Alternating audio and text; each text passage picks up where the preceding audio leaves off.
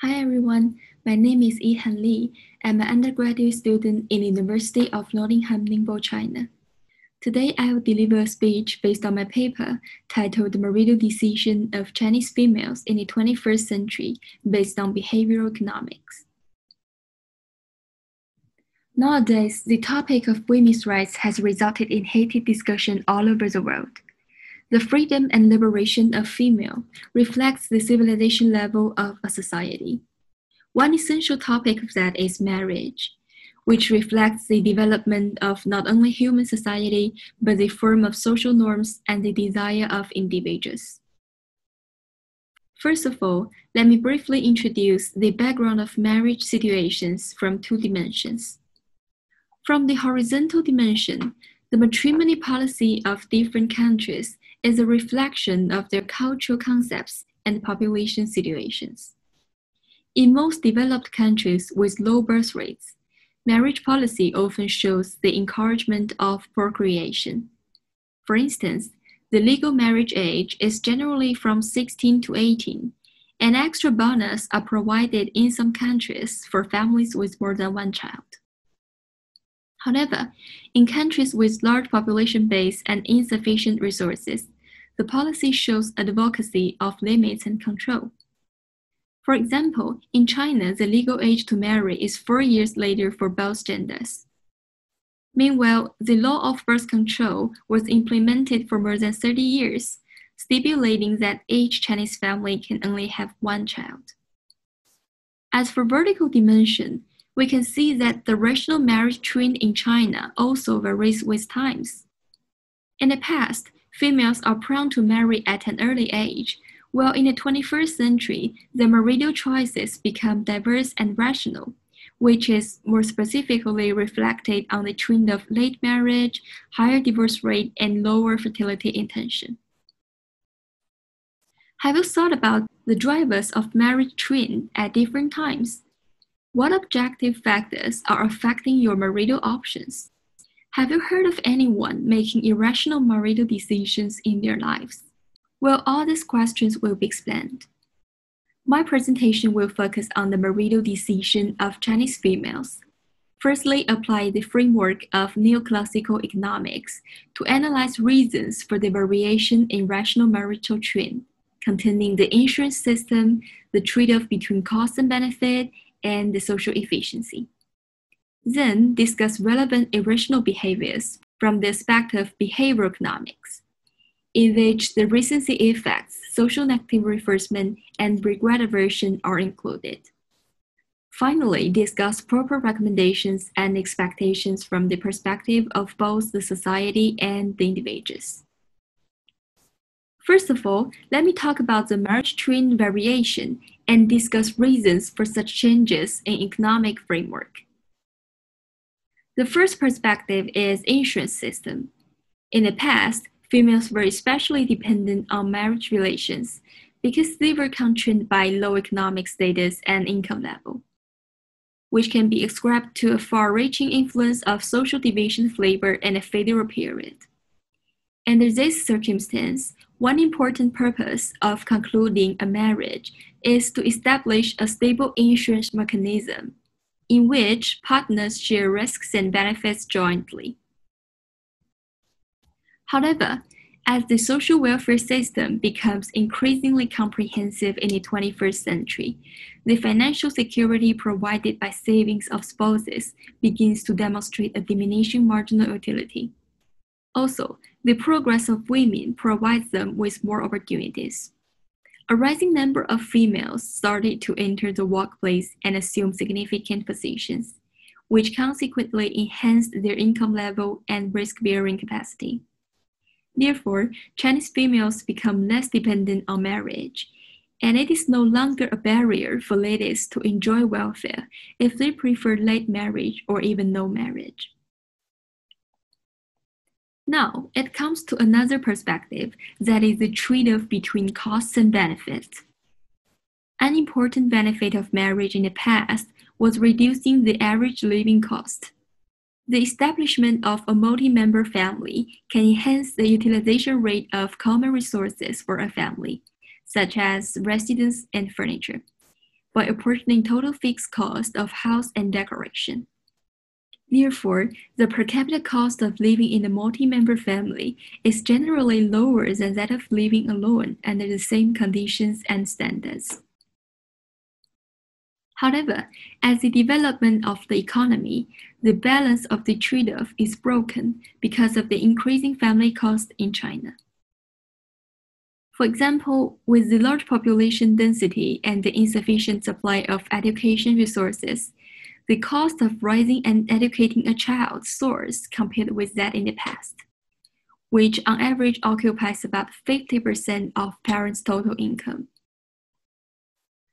For a large number of Chinese females, another reason for the trend of late marriage and late procreation is the higher opportunity cost.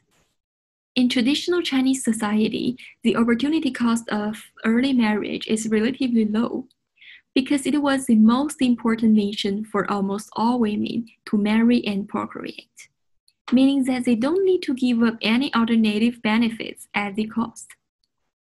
However, there is a substantial increase in the opportunity costs for Chinese females in the 21st century, which can be ascribed to a variety of options and goals, as well as higher return of self-investment. A large number of marriageable ladies are prone to concentrate on personal development instead of devoting time in managing domestic affairs.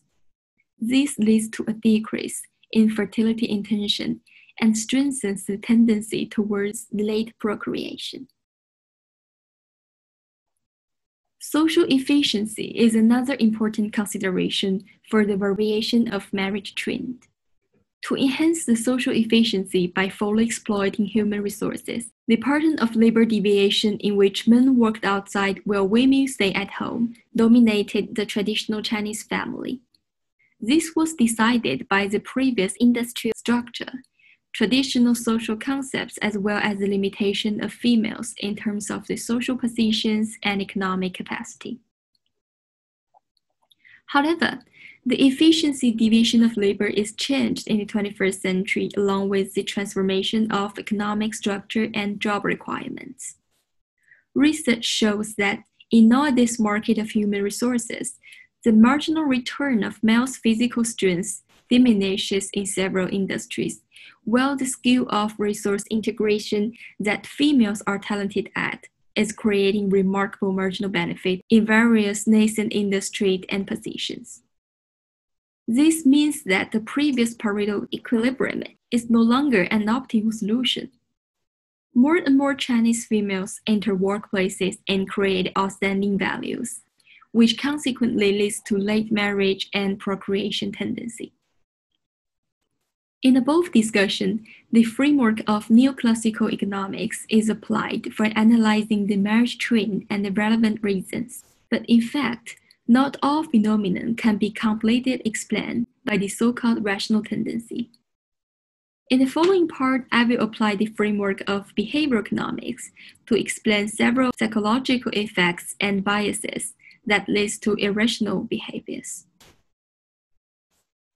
The recency effect is a concept meaning that memories for recent events and stimuli are clearer and deeper and the latest information will significantly affect people's attitudes and decisions. Nowadays, the willingness to marry and procreate of Chinese women is significantly decreased. More and more females are prone to break shackles of marriage to pursue their freedom and personality. As a result, males are likely to be passively affected and the social public opinion may also face the pressure of guiding women to improve their enthusiasm for marriage and childbearing. Thus, the topic of marriage is likely to become a social concern and arouse an extensive discussion on the internet. A large amount of recent information that may produce marriage anxiety is over-publicized on social platforms. For instance, plight of elder women in marriage market, and the danger of late procreation. Chinese females are exposed to a stressful environment full of recency information related to anxiety and worries, which may result in irrational behaviors lacking considerations. Another explanation is from the aspect of sociology and normative beliefs, that is, social negative reinforcement, meaning that the social criticism and blame of certain behaviors can weaken, eliminate, and rectify those actions with the pressure of public opinions and social evaluations. With the influence of residual thoughts and stereotypes arising in Chinese federal society, a considerable number of Chinese citizens hold the opinion that it is the obligation of virtuous wives to maintain family harmony and it is immoral for women to abandon family or marriage relationship. Such comments reflect that women deciding to divorce are likely to burden with the pressure from social moral condemnation, which may consequently strengthen their self-reproach and sense of discomfort, and hinder them from decisive and rational choices in the face of unsatisfactory marriage. Now, I'd like to mention an emotional bias named regret aversion, referring to the strong desire to evade regret.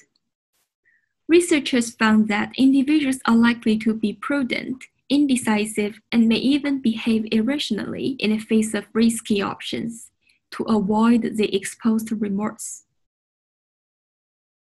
When deciding with unhealthy marriage relationship, even the young generation tend to evade potential risks. They know that once resolving to divorce, they will probably be regretful for huge divorce costs and emotional losses. Therefore, a large number of Chinese couples, especially females, would rather endure and compromise an unsatisfactory marriage than decide to divorce. One thing worth mentioning is that women actually burden higher barriers than men in terms of both exiting from the marriage market and entering the remarriage market, which can be ascribed to the higher depreciation rate and more considerable costs of time. Such high divorce costs and possible losses are likely to result in strong resistance to divorce and may impede the rational behaviors of Chinese females in the long term even if this option is conductive to stop loss and self-belay. Now, it comes to the final section in which relevant recommendations will be put forward to overcome the marriage anxiety and its current social problems.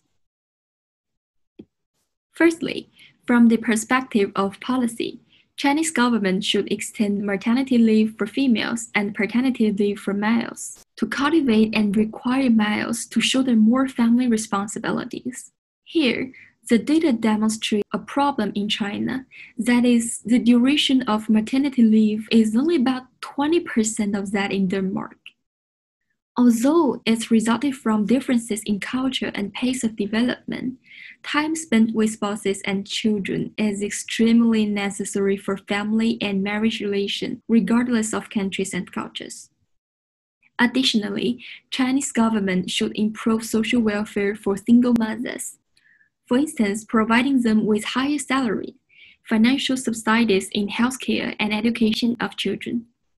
In this way, the anxiety of divorced ladies and single mothers can be effectively alleviated. Apart from policy approaches, another perspective is media publicity. Media is a window to express orientation, value, and ideology of a society. In fact, a large number of marriage anxieties of Chinese women are closely related to the over discussion and biased reports of social media. Therefore, the social media are expected to be responsible for reporting news comprehensively and objectively. To reduce the over discussion of topics leading to female anxiety, and to supervise news that embodies the federal ideology of male superiority and female inferiority. In this way, a more objective information environment will be created.